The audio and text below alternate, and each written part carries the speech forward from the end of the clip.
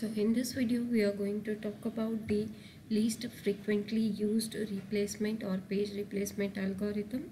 This LFU algorithm is a counting based page replacement algorithm since it is going to use the counter for each and every page. So according to this algorithm we are going to replace the page which has which has the smallest count so now to keep track of the smallest count, we are going to maintain the counter for each and every page and whenever there is a page replacement requirement, we are going to replace the page with the least count. Now you might be having question about why we are using the counter. So the reason for using the counter is that we can count for an actively used pages okay and we are we can easily replace the pages which are not actively used. Okay? So let us uh, have the idea with the help of example. So here I have considered one reference string as you can see and we are taking three page frames available.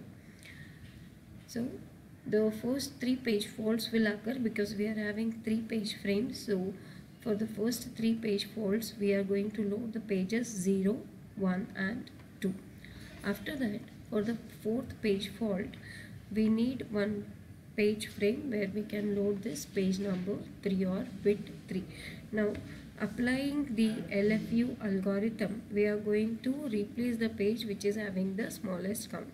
Now since 0 is having 3 count 1 is having 2 count and 2 is the one which is having least count. So replace this page 2 with page number 3 okay? Then the request for page number 0 will not result in any kind of page replacement since 0 is available on the page frame. Similarly, 1 is also available on the page frame so there will not be any kind of page faults.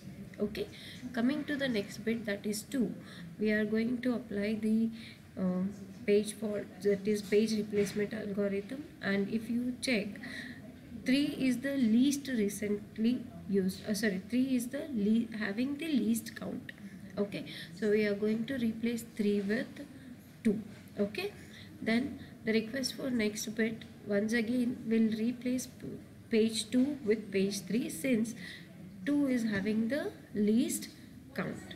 Fine. Again the request for the pages 0 and, and 1 will not result in the uh, replacement or page fault because already those two pages are available on the page frames.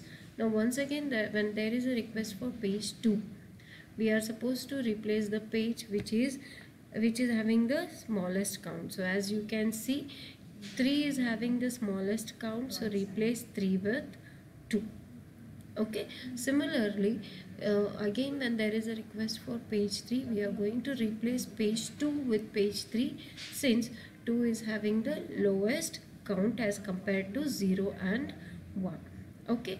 Then the next request is for page 4 this page 4 once again leads to the page replacement and we are going to replace page 3 since it is having the least count so we are going to replace the page 3 with page 4. Similarly, we are going to replace page 4 with page 5, 6 and 7 as they are having the least count.